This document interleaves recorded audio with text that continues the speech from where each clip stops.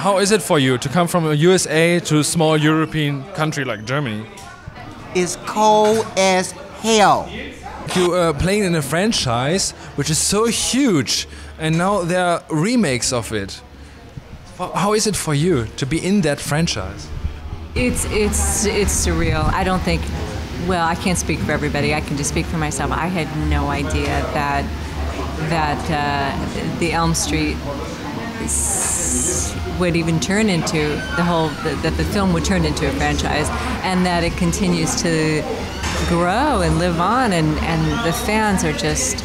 Uh, it's it's been a big surprise for me to to discover just how hugely popular that the, the films are still.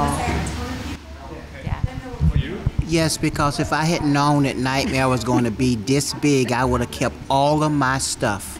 I would have been rich because I threw everything away. I had no clue. And just so you know, for the record, Kincaid is the first African American to ever survive a horror film and return to a sequel all over the world. So, you know, I had no clue that Nightmare on Elm Street were gonna be in my life when I got to be in my 20s.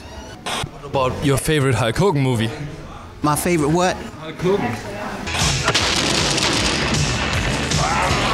What about him? You haven't uh, any favorite Hulk Hogan movie?